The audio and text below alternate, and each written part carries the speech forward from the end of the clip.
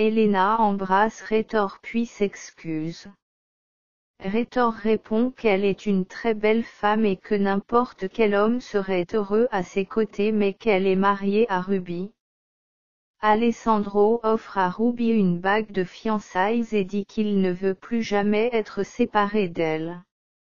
Ruby essaie d'expliquer à Alessandro ce qui s'est passé le jour de l'accident dans lequel Sonia a perdu la vie mais il l'interrompt et dit que le passé n'a plus d'importance.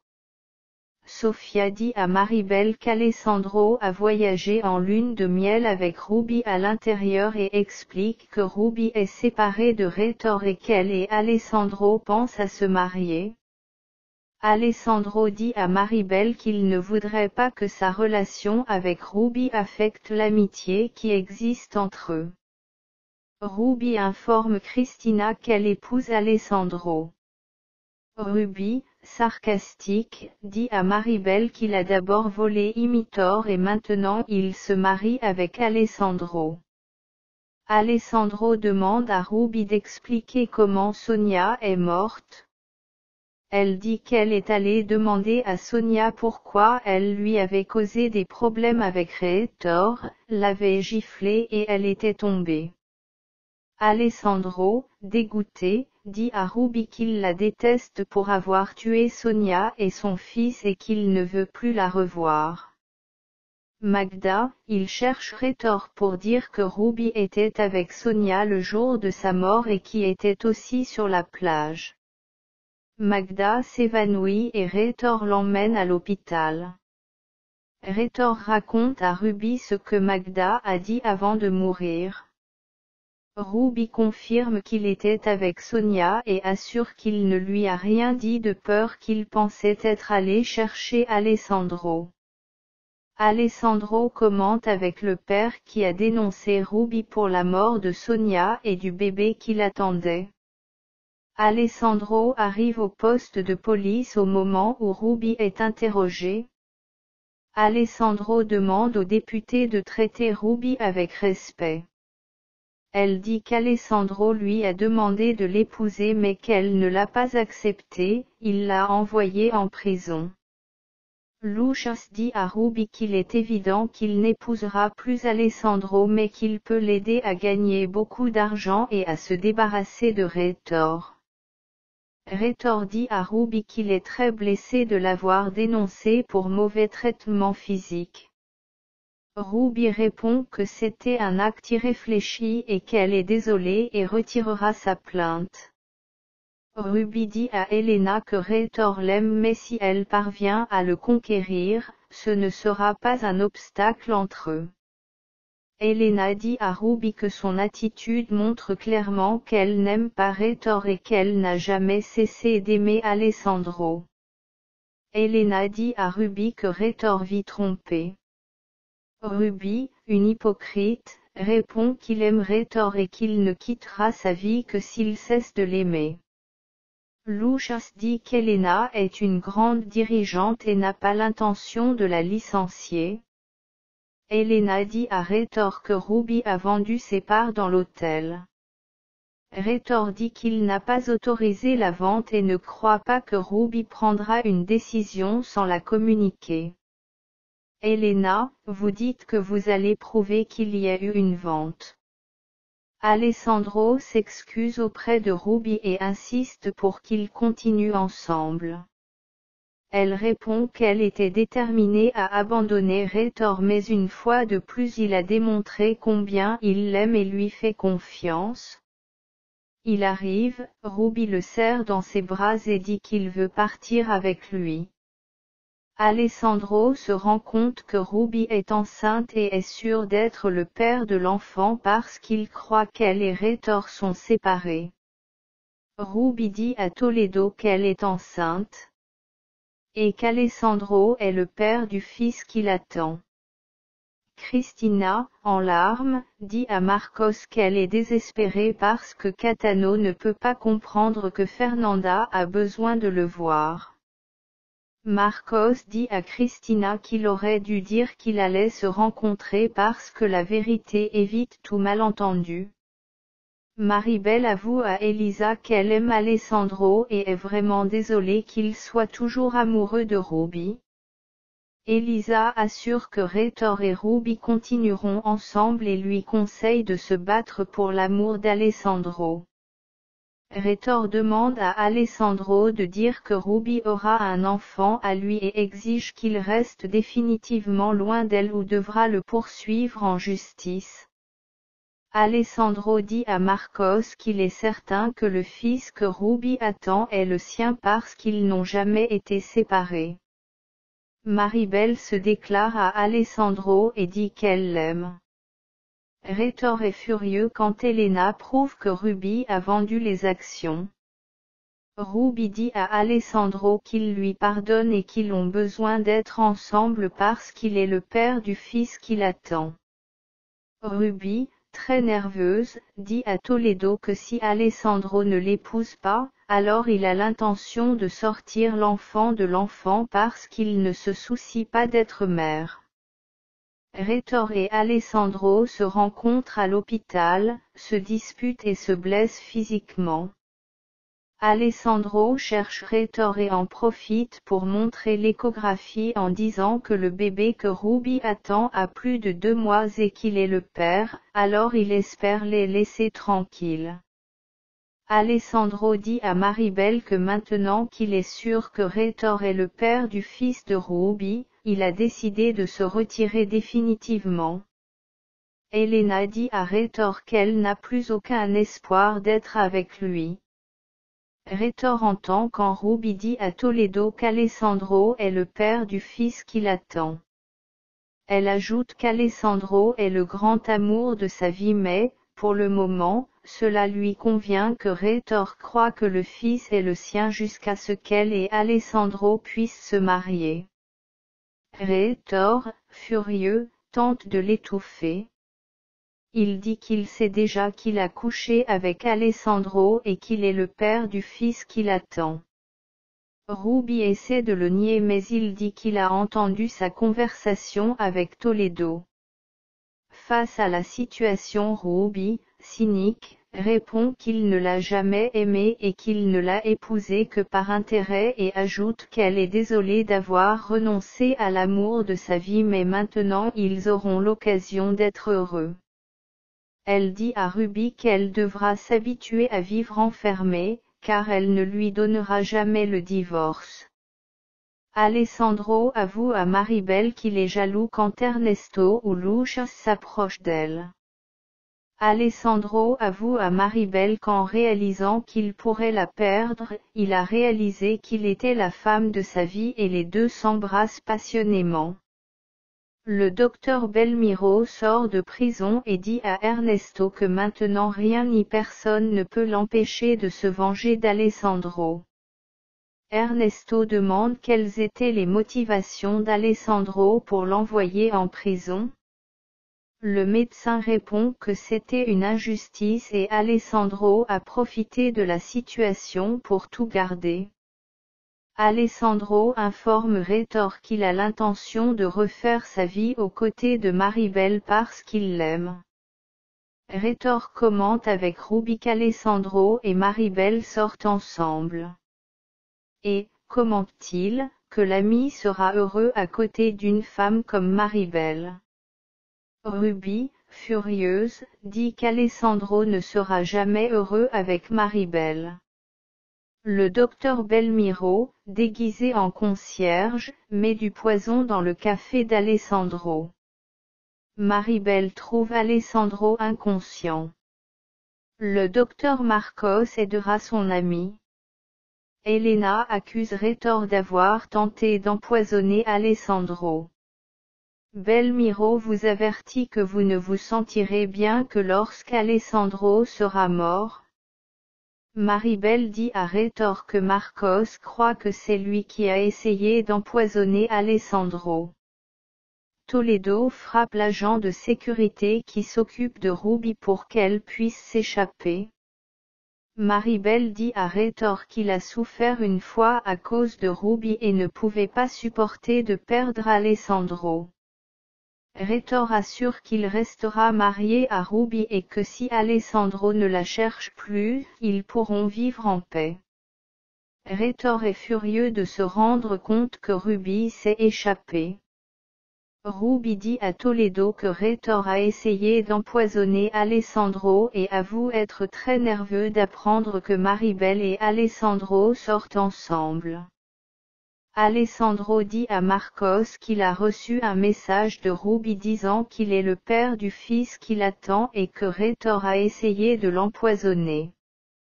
Marcos dit qu'il a cherché Rétor et il a nié avoir essayé de l'empoisonner, mais conseille à son ami de le dénoncer parce qu'il y a des preuves qui compromettent trop Rétor.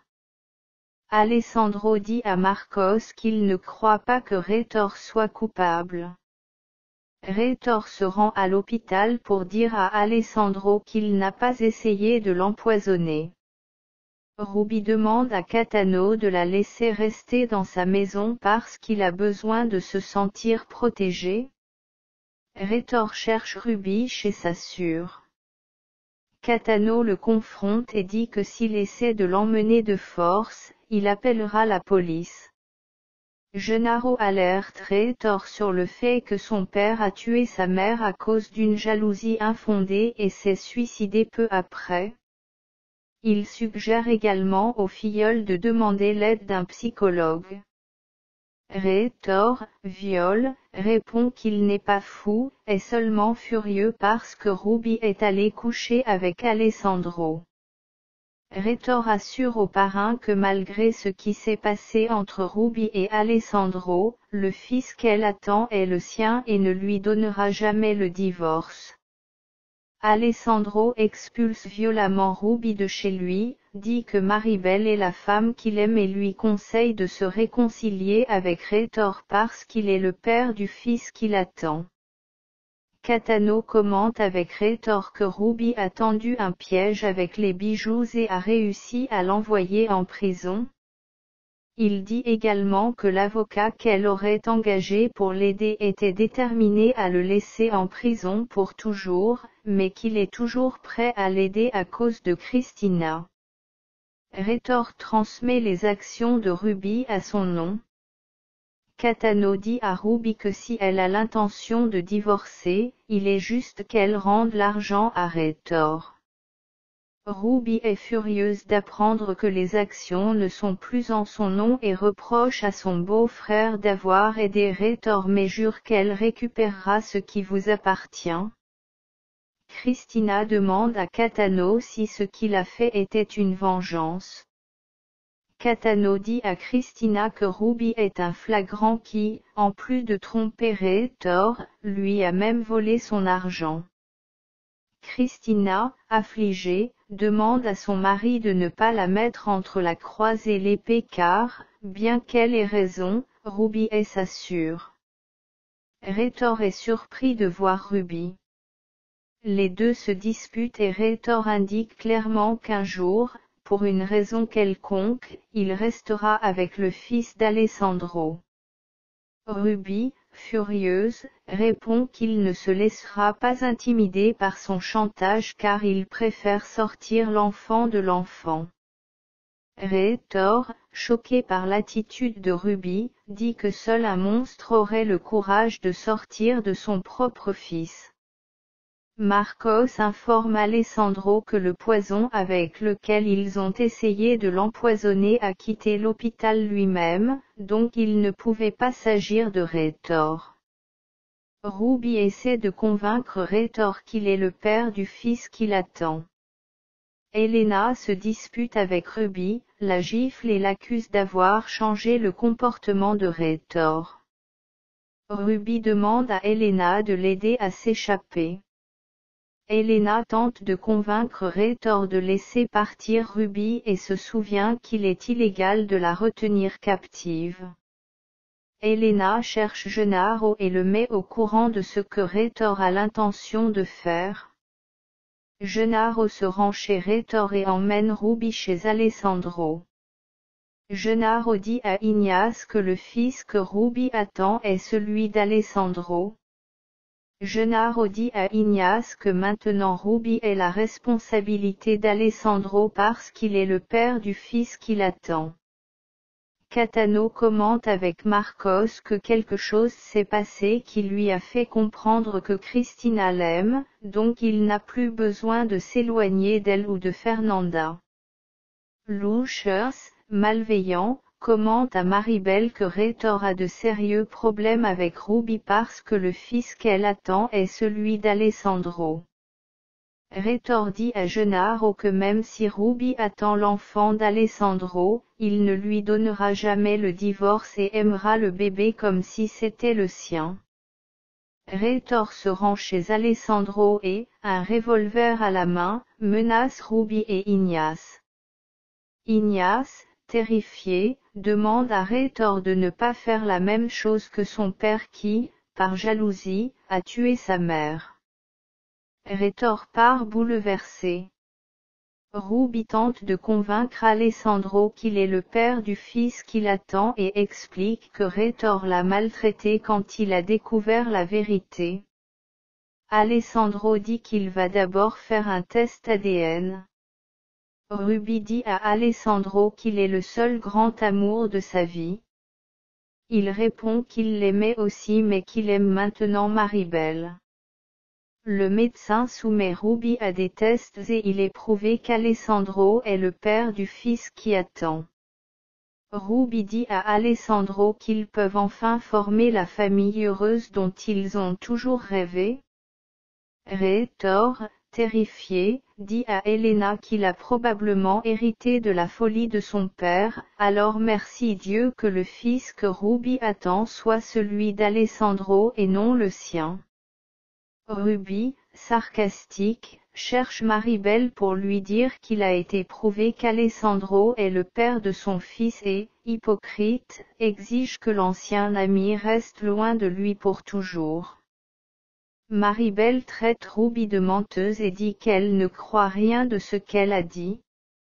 Alessandro commente avec Marcos qu'il a déjà prouvé qu'il est le père du fils de Ruby et avoue qu'il est très confus. Ruby dit qu'ils peuvent se marier parce que Rétor ne refusera plus de signer le divorce.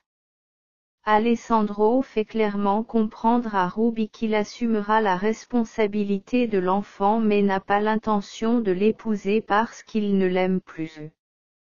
Ruby joue sale et dit à Alessandro que s'il ne se marie pas, elle n'aura pas le bébé.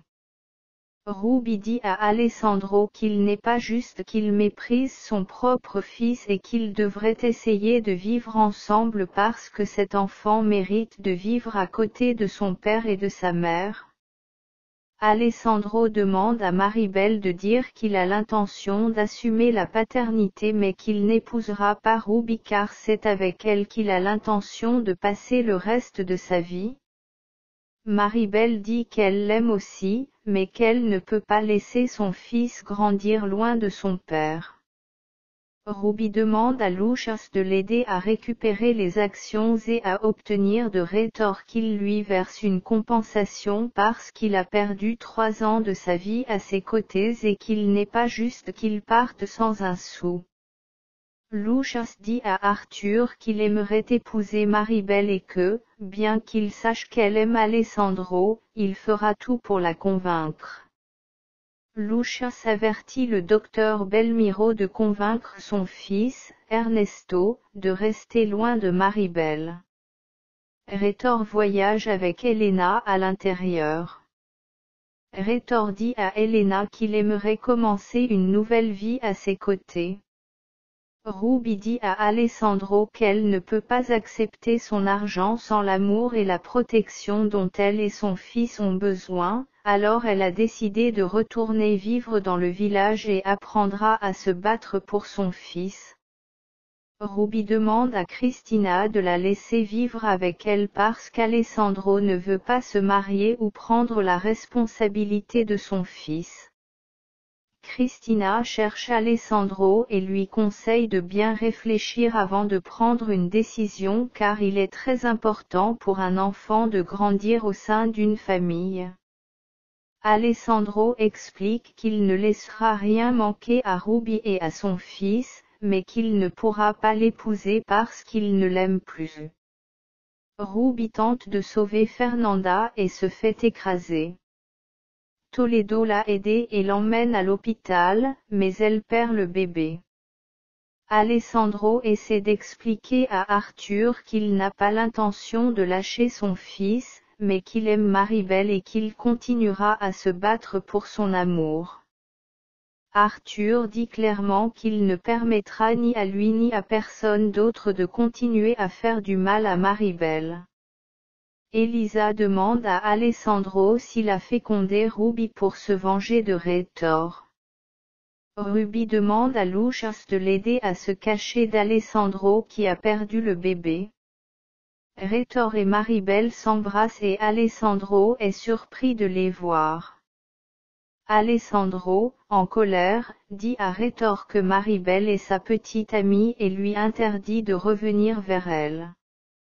Maribel méprise à nouveau Alessandro et dit que sa place est à côté de Ruby et de son fils. Ruby demande à Alessandro, pour son fils, de lui donner l'occasion de démontrer qu'il a changé sa façon d'être. Alessandro répond que pendant longtemps elle a occupé son cœur mais qu'elle est maintenant amoureuse de Maribel et qu'elle sera toujours dans ses pensées. Ruby, un hypocrite, dit qu'il n'a pas l'intention d'être un obstacle entre lui et Maribel. Plus tard, elle cherche Maribel et accuse son ancien ami d'être égoïste qui, au nom de son bonheur, est capable de chasser un père de son propre enfant. Maribel répond qu'elle a déjà mis fin à sa relation avec Alessandro et que s'il ne veut pas l'épouser, c'est parce qu'il ne l'aime plus.